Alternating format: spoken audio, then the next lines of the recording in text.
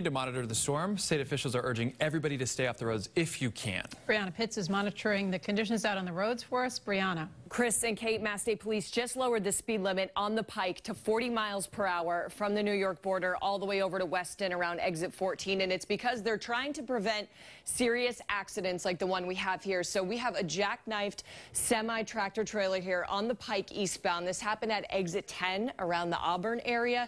It is creating 73 minutes worth of delays that back up all the way to the Charlton Service Plaza. Mass State Police are on the scene.